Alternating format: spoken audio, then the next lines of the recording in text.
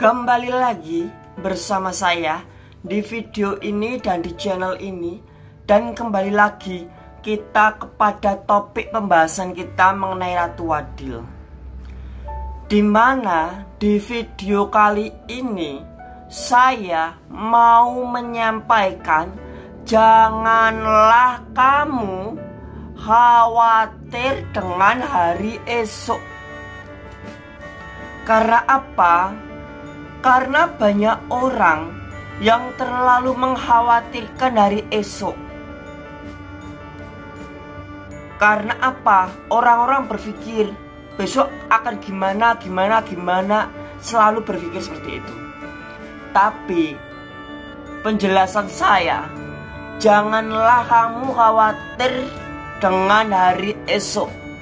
Contohlah Ratu Adil yang tidak khawatir dengan hari esok. Di mana hari esok itu sudah ada kekhawatirannya sendiri. Kekhawatiran hari ini cukuplah untuk hari ini. Jangan diperpanjang.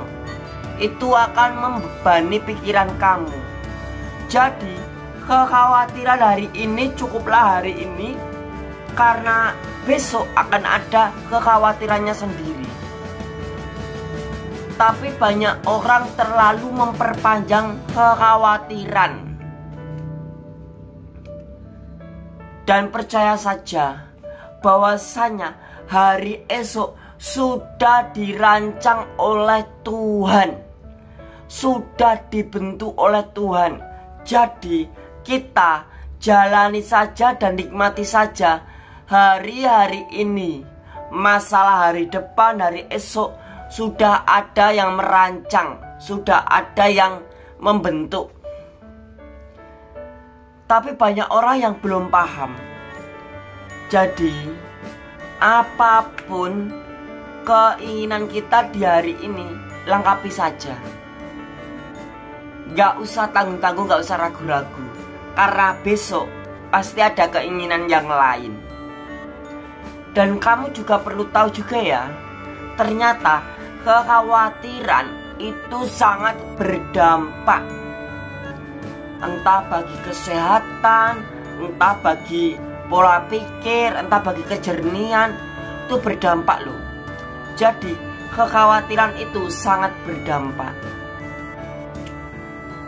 Di mana juga kalau membahas lagi ya, ini hanya sebatas potongan saja kalau dibahas-bahas lagi mengenai channel ini, channel Fakta Dunia Gaib ini, rencana dari tim sukses channel Fakta Dunia Gaib ini, tim suksesnya Ratu Adil ini, memiliki rencana yang sudah uh, terstruktur. Rencana yang sudah terstruktur di mana tim sukses Ratu Adil ini kalau sudah memiliki dana yang mencukupi, tim sukses Ratu Adil ini mau membuka podcast. Jadi di channel Fakta Dunia Gaib ini selain ada video-video short, video-video panjang dan juga di sela-selanya juga akan ada podcast. Di mana podcast ini semakin hari semakin hari semakin hari akan semakin dikembangkan di mana podcast di channel Fakta Dunia Gaib ini nanti akan diberi nama lagi. Dan nanti yang tentukan akan akan ada. Tim sukses Ratu Adil akan menentukan. Jadi, rencana pihak suksesnya Ratu Adil ini, rencana timnya Ratu Adil ini, dia mau membuka podcast. Jadi selain ada video short, ada video panjang, juga ada podcast di dalam channel Fakta Dunia Gaib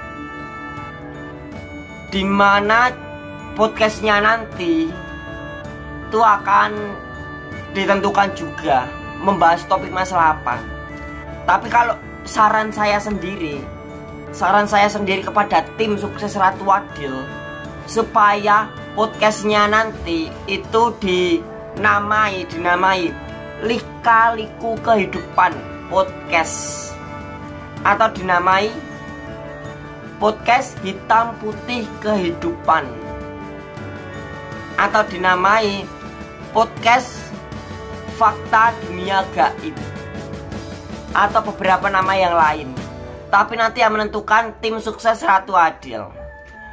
Jadi rencananya di channel ini juga akan disiapkan buat podcast. Jadi bagi kamu subscriber-subscriber di channel ini jangan sampai ketinggalan jangan sampai nggak nonton jadi ikutin terus perjuangan channel ini, ikutin terus perjuangannya dan nanti kalau sudah ada podcast jangan lupa untuk selalu nonton podcast. Karena podcast itu nanti akan mengundang orang-orang yang memang butuh berkat. Akan mengundang orang-orang yang memang butuh bantuan. Karena bila mana diundang di dalam podcast, tentunya pihak podcast juga akan memberikan sedikit dana. Dan juga kalau ada sembako ya pakai sembako. Kalau nggak ada ya udah nggak ada. Tapi tentunya ada sedikit dana yang akan dibagikan. Tentunya podcastnya nanti yang diharapkan itu podcastnya itu uh, membahas mengenai kisah hidup. Mengenai kisah hidup yang dipanggil tadi karena aku melihat juga aku melihat juga di luar sana itu banyak sekali loh orang-orang yang memiliki kisah hidup yang beraneka ragam. Ada yang kisah hidupnya lurus, ada yang kisah hidupnya berliku-liku, ada yang kisah hidupnya belok kanan terlalu tajam, belok kiri terlalu tajam. Jadi kisah hidup orang itu beda-beda. Dan rencananya nanti podcastnya di channel ini nanti juga akan membahas kisah hidup, perjuangan. Bahkan juga akan membuka profil seseorang. Jadi walaupun di video shotnya, video pendek channel ini selalu membahas tentang hal-hal mistis seperti film horor, seperti paranormal dan lainnya. Lalu di video-video panjangnya selalu menyangkut pautkan sang ratu adil. Dan nanti di podcastnya itu akan membahas mengenai kisah kehidupan. Jadi buat kamu yang selalu mengikuti channel ini Pastikan kamu selalu mengikuti. Supaya kamu tidak rugi. Apalagi nanti podcastnya pasti lebih seru. Apalagi mengundang orang-orang yang kurang mampu dan membutuhkan berkat.